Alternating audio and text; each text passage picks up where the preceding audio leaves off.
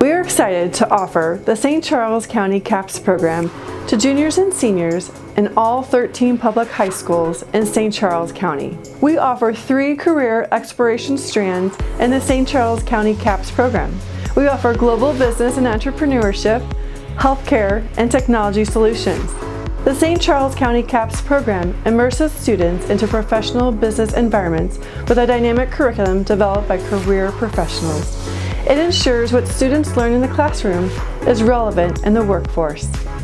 One of the key benefits of being in CAPS is we learn professional skills kids our age don't really get to know. CAPS is a different work environment than school. I get to come to Charter Spectrum and I get to meet business professionals.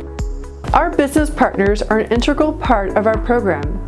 They are essential to providing authentic learning opportunities for CAPS associates through client projects, guest speakers, mentors, site visits, and unpaid internships. The best part of being a CAPS is being surrounded with people that have the same interests as you.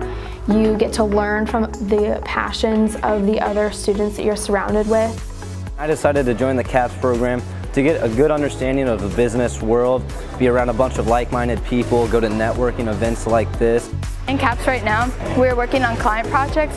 So me and a group of three other guys are working with Mentors for College.